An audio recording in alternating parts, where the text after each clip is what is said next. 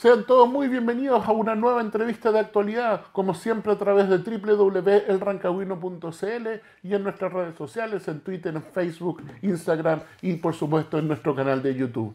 Esta vez, a pocos días de la trascendental elección de consejeros constituyentes. Estamos con el presidente de la UDI y senador por nuestra región, Javier Macaya. ¿Cómo estás, senador? Hola, ¿cómo estás? Un gusto saludarte, Fernando, y estar acá en el Rancagüino, que estamos... Yo no, no, he tenido la oportunidad de visitar este bonito estudio acá, que desde acá comunicando para la región. Muy, muy contento. Muchas gracias por la invitación. Y bueno, partamos por la contingencia dura, que por la elección de este, de este domingo.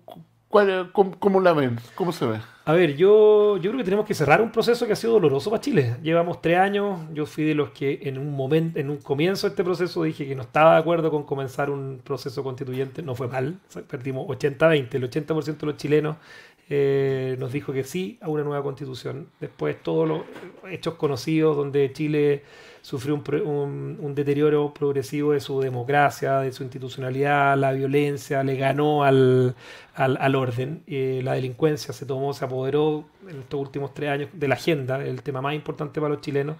Y yo creo que los chilenos están bien cansados de elecciones. ¿ah? Llevamos como 10 procesos electorales, desde gobernadores regionales, segundas vueltas, primarias, concejales, constituyentes anteriores. Eh, pero a pesar de eso, a pesar de la apatía y quizás la lejanía con la que muchas personas viven este proceso, yo creo que es la manera, estamos en un buen momento y en una buena oportunidad para cerrar de buena forma, eh, no, no, no, tanto este domingo 7, sino que yo estoy pensando más en diciembre. Eh, el 17 de diciembre de este año ojalá que Chile pueda decirle que sí, una buena constitución que cierre definitivamente este capítulo y que, que la constitución deje de ser la excusa de los políticos para no hacerse cargo de los reales problemas que tiene la ciudadanía. Eh, y creo que hay una oportunidad, ahí, bueno, el Pacto Chile Seguro, que es el que yo represento, la UDI, Renovación Nacional y Evópolis, eh, llevamos buenos candidatos en, candidatos en todos los lugares de Chile con, con esa convicción, ir a hacer un aporte, ir a lograr diálogo, algo que no se logró en el proceso anterior. Y, justamente yo creo que eso es lo que tenemos que tener siempre en, mira, no repetir los excesos refundacionales, retóricos, simbólicos que tuvo el proceso anterior. Y ahora que el péndulo quizás está más cargado hacia el sector nuestro, hacia la derecha, eh, no cometer el mismo egoísmo de decir aquí los cambios los vamos a hacer solamente desde un sector. Esto se tiene que hacer con diálogo, por muy bien que te vaya en una elección, la constitución no es para los próximos dos o tres años de gobierno, la constitución es, eh, es para los próximos 50, 100 años, incluso hay países que no han cambiado nunca sus constituciones. Por lo tanto, no puede ser partisana. Si en este momento a la derecha le va bien, la derecha tiene que imponer diálogo. No puede ser como decía Stingo cuando, cuando, cuando salió electo, que decía aquí los cambios los vamos a poner nosotros. O sea, bueno, si, se comete ese mismo error, eh, desaprovecharíamos una tremenda oportunidad para cerrar este, este, estos tres años que han sido súper dolorosos para Chile.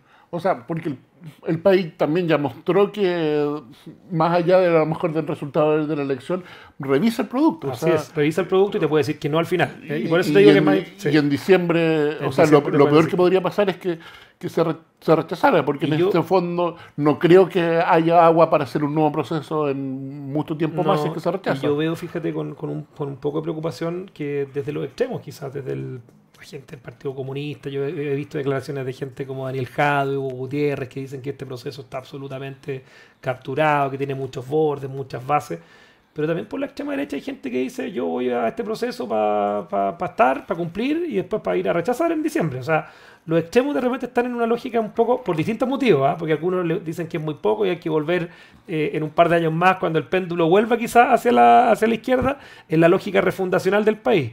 Y desde la, desde la extrema derecha también hay algunos que dicen que esto tiene que mantenerse en un statu quo, tenemos que mantener la constitución vigente hoy día, y se le olvida dónde venimos, se le olvida dónde estábamos en octubre del 2019, se le olvida que estuvimos a punto de irnos al despeñadero, se le olvida que tenemos hoy día una oportunidad para cerrar esto, eh, y ese es el mensaje que les doy yo. O sea, este es el mismo país que votó hace un poco más de un año por Gabriel Boric, este es el mismo país que votó hace dos años y tanto por el apruebo en el plebiscito de entrada, eh, y claro, las lógicas de los momentos van cambiando, pero si en dos años más, tres años más, eh, cuando sea el próximo gobierno, eh, le, toca a un, presidente quizás de mi sector, pero le toca volver a hacerse cargo de este tema, yo, yo creo que no va a ser... o sea, yo lo, he conversado con Evelyn Matei, con el propio Rodolfo Carter, ojalá cerremos este tema. O sea, si es que a alguno de ellos les toca ser presidente de Chile en tres años más, cuatro años más, ojalá este capítulo lo tengamos cerrado para hacernos cargo desde la política de las reales preocupaciones de los chilenos. Y, en este sentido, el resultado del domingo incidirá también políticamente con, con las discusiones que se vienen, o sea, de, reforma, de, reforma de pensiones, eh, a lo mejor una, de alguna otra manera la reforma tributaria, mm. eh, hay que ver cómo se sale del lío de, de, las ISAPRES y, temas por los que no se puede cometer de nuevo el mismo error de esperar que esté funcionando la nueva constitución. Yo, yo creo que tenemos, va a incidir de todas maneras y hay discusiones muy relevantes que no se pueden seguir postergando con la excusa de la constitución. Eh, yo creo que la más importante ahí tiene que ver en, en todos los temas que tú me has mencionado, salud, educación, pensiones, hasta, la, hasta el derecho a la comunicación, es el rol que cumplen entidades de la sociedad civil, como ustedes, ¿ah? como, como, personas que no son eh, estatales, que no son, eh, no vienen con el, con el monopolio estatal a, hacer ni comunicaciones, ni pensiones, ni salud, ni educación.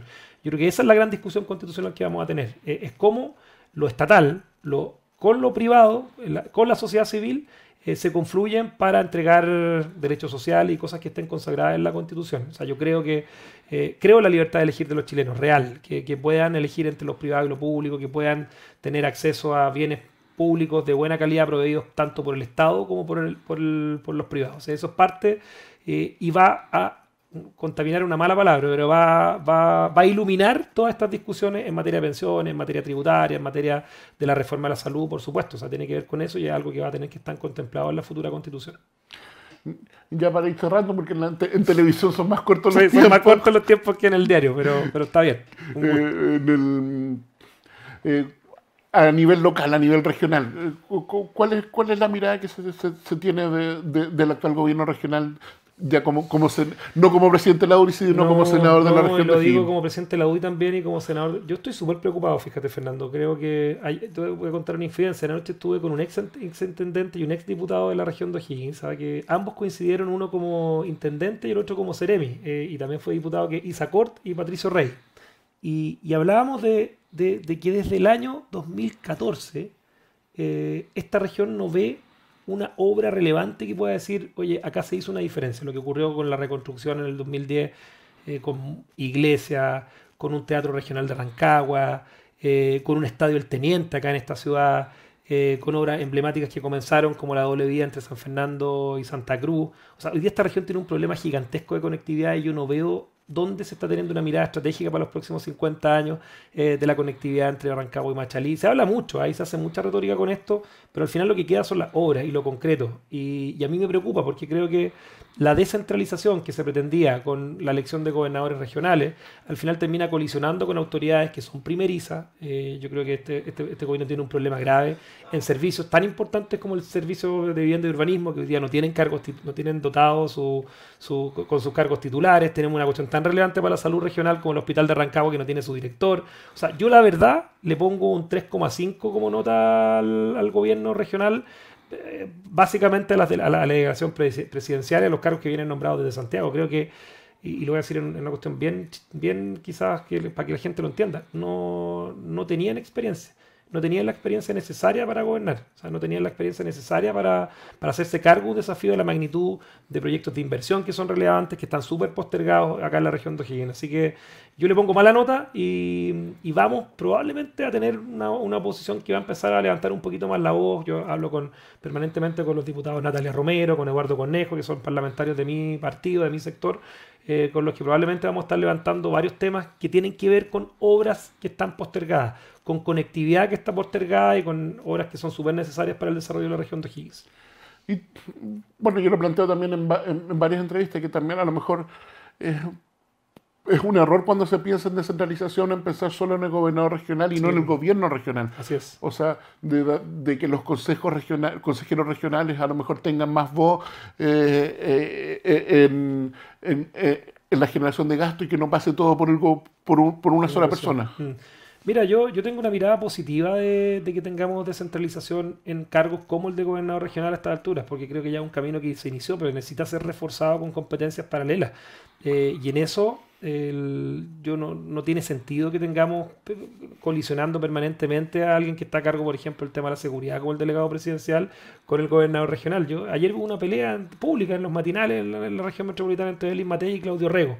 Pero yo, yo a mí, ¿ah? y lo voy a poner en, mi visión sobre la descentralización, yo creo muchísimo más en la descentralización a niveles de, autoridades comunales, de autoridades locales, de lo que significan los alcaldes. Creo que ahí es donde se pueden ejecutar eh, obras que tengan un impacto real. Eh, y, hemos ido en el, sentido, en el sentido inverso en los últimos años. Les quitamos la educación, algunos les quieren quitar la atención primaria salud también. O sea, es parte de las cosas que yo espero que en el debate constituyente que venga eh, pongamos tener la claridad conceptual de cómo hacemos que nuestra ciudad y que la descentralización avance, que tengamos un proyecto ciudad. O sea, acá creo que lo conversábamos ahí fuera de micrófono, nosotros necesitamos el libro de lo que va a ser la región de Higgins en los próximos 50 años, para que cuando llegue una autoridad en 4 años más, ya, nos quedan, 40 nos quedan 46 años. Y cuando llegue una autoridad en 10 años más, nos quedan 40 años. Hemos logrado los objetivos, hay una carta Gantt, estas son las obras. Alguien decía el otro día, a propósito, y lo conversaba harto con Beatriz Valenzuela, que tiene que ver con el proyecto Gaudí, acá en la región de Higgins. Eh, Claro, es mucha plata, sí, es mucha plata para una iglesia, pero lo que podría llevar aparejado tener una obra, la primera obra fuera de Barcelona, fuera de Cataluña, de, este arquitecto mundialmente conocido, significa turismo, significa desarrollo para Rancagua, significa que vamos a tener visitas, servicios funcionando, o sea, va a haber toda una lógica que esos recursos se devuelven súper rápido a la comunidad rancagüina y te, y te vuelve a poner a Rancagua como referente nacional eh, lo es por minería, lo es por quizás porque tenemos un buen club deportivo de los Higgins, eh, pero nos falta tener más eh, características locales que nos pongan en el plano nacional e internacional y en eso lo vamos a conversar con la Beatriz, probablemente vamos a reunirnos con el ministro Monte, porque me, pidió que, que, gestionáramos una reunión con el ministro de Vivienda eh, para volver a, reiterar la importancia de este tema. O sea, ¿es harta plata? Sí, en su momento era un proyecto de casi 5 mil millones de, pesos y claro, y se tiende a compararlo con cosas como un CEFAM o un colegio, pero son cosas que no se pueden comparar, porque la relevancia que le puede arrancar, arrancar un proyecto de esas características, es decir,